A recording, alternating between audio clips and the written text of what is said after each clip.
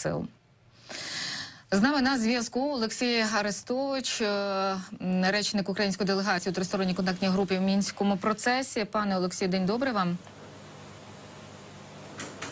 Я вас вітаю. Як ви сприймаєте те, що відбувається захоплення наших українських військовиків, що демонстрація ось відео із ними? Наскільки це полегшує чи не навпаки ускладнює якраз такий процес? Групі, і якраз е, що ви знаєте, можливо, нового, що відбувається у гуманітарній підгрупі, на якому етапі взагалі перемовини щодо обміну утримуваними особами? І я так розумію, що терористи поповнюють списки нашими бійцями.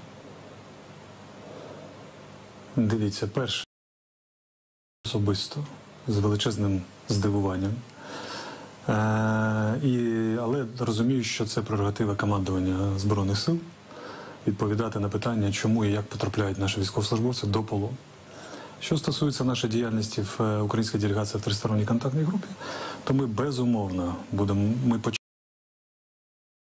кожне засідання з того, що ми ставимо питання про долю наших військовополонених. Списки ми підготували ще відповідно в липні цього року. Щомісяця ми надаємо їх знову за стандартною процедурою. М'яч знаходиться на полі російської сторони. Це підтверджує і наші посередники в ОБСЄ, і МЗС Франції і Німеччини. Ми чекаємо від них, тому що ми свою підготовчу частину вже зробили. А ось такі, як то кажуть, свіжі, а, вибачайте на слові, захоплення, наскільки вони ускладнюють перемови з приводу а, якраз таки обміну, і чи варто його очікувати? Ну, як правило, пам'ятаємо, ну, минулого року теж було перед а, новорічними святами.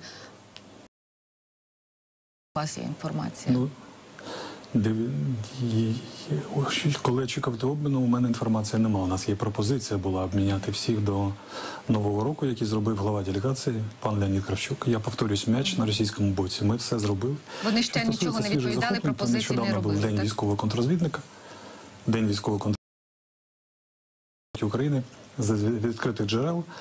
е, Відзвітувала, що цього року роз, розоблачено і вик- ви- ви- викрито і взято під слідство декілька російських шпигунів. Я думаю, що поповнення обмінного фонду це обоюдно обоюдно. Росіяни поповнюють, і ми поповнюємо. Питання не в тому, е, чи буде у нас один, дві, три людини на обмін, хоча доля кожної людини дуже важлива. Питання, чи готова російська сторона взагалі йти на обмін. Тому що ми технічну сторону е, і юридичну виконали. Ми чекаємо від росіян відповідного рішення, і це є темою постійної дискусії в ТКГ. Політичні радники, коли розмовляють про це, також питання ставиться з всією гостротою. Давайте завершимо питання обміну всіх на всіх, так як це було домовлено рік тому в Парижі. Тобто, фактично, там мовчанка, ну якщо просто говорити, так? З того боку. Там не мовчанка. Чому? Вони кажуть, що ми маємо, українська сторона має всіх е, вже звільнених осіб, і тоді буде наступний етап. Але ані в протоколі, який підписав пан Кучма, коли він очолював ТКГ, ані в Парижській домовленості, ані, в будь-якому документі, якими керується робота ТКГ. І нормандського формату як такого нема жодного пункту, який би зазначав, що не, не, не можна здійснювати наступний обміни тих, кого звільнили попередньо, тому що кожна лю- з цих людей, е, які звільнюються, вони вступають в індивідуальні відносини з українським правосуддям. Як демократичній країні, правової державі, і ці відносини мають дійти до пр- приговору суду, а потім вироку суду, а потім президент має їх помілувати. Але. Деякі з'являються на суд як колишні співробітники Беркуту з адвокатами. Дехто сховається. Одна людина вже встигла знову потрапити за грати. І не президент, ніхто в державі не може наказати людині, е, як вибудовувати відносини з правосуддям. А потім може бути апеляційні суди, Європейський суд з питань з прав людини і так далі. Це може тривати роками. Ми питаємо російську сторону, зокрема на, на черговому засіданні, спитали їх, вам важливіше звільнити ваших людей? Чи вам чи вони будуть роками, е, поки йдуть суди попередніх звільнених, е, бути за гратами українських о, за українськими гратами? Про своїх людей ми, звісно, це по, по замовченню ми пам'ятаємо. Ми чекаємо від них відповіді, тому що вони не відповіли. Вони взяли перерву, після якої не повернулися до цього питання. Буква чи звільнення реальних людей? Ми наполягаємо, що всіх можна звільнювати е, по формулі всіх на всіх, пускай в, в декількох етапах, поки да, а потім юридична очистка може тривати роки. Але ми вважаємо, наша делегація, що звільнені люди це краще, ніж люди, які знаходяться за гратами. Зрозуміло. Зокрема, в нашому списку понад 90 осіб. Насамперед це військовослужбовці, співробітники спецслужб України, які потрапили до полону російського під час виконання бойових завдань. Пане Олексію, і роз'ясніть, будь ласка, так званий план Б, про який заявив напередодні, полягає він за словами пана Резникова в тому, що планується реінтеграція Донбасу ще до виведення російських військ. Як має працювати ця реінтеграція Донбасу? Ну і взагалі, що це таке і як це справді працюватиме? Поясніть, будь ласка. Дивіться, план Б це фігура мовлення. Насправді це так не назва комплексу заходів державних, які здійснюються на державному рівні. Що таке повернення Донбасу? Він поділяється на два процеси: це деокупація і реінтеграція. Реінтеграція здійснюється безперервно. Це фактично боротьба за уми і серця наших громадян, які знаходяться в заручниках у російської сторони. І відкриття КПВВ. Е, 620 тисяч пенсій, які ми там виплатили, росіяни відпустили наших громадян на, на, на територію контрольовану урядом України. Е, Різноманітні гуманітарні заходи з використанням можливості міжнародних гуманітарних організацій. Це все те, що ми робимо для того, щоб надання адміністративних послуг, те, те що ми робимо, Міністерства тимчасово окупованих територій, для того, щоб наші громадяни знали. Мирне безпекове життя, забезпечуючи їх в соціально-економічному відношенні і політичному також. Російська сторона отримує їх в заручниках. Вона їх хоче використати як пушечне гарматне м'ясо. І росіяни дуже люблять поплакатися, Кремль, поплакатися про те, що вони роздають, зокрема, російські паспорти наших громадян, які проживають по ту сторону тимчасово окупованих територіях, я їх завжди питаю через офіційно наші сторінки, а що дає російський паспорт, яку допомогу? А не простіше випустити громадянина України на ЦНАПи, які ми на КПВВ, які ми обладнали вже другий, наступний за сучасними стандартами, і громадянин отримає там і соціальні виплати, і пенсії, і медичну допомогу, і повний пакет адміністративних послуг. Спеціальна сторона цього року буде відкрити відповідні КПВВ центри на всіх, включаючи Чонгар для е, громадян окупованого росіянами Криму.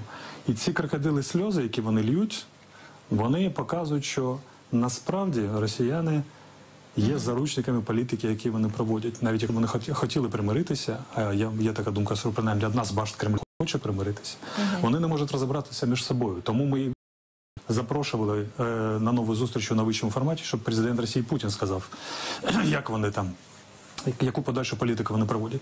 Але ми бачимо, що вони, незважаючи на окремі оці недоліки і огріхи, продовжують діяльність в рамках ТКГ.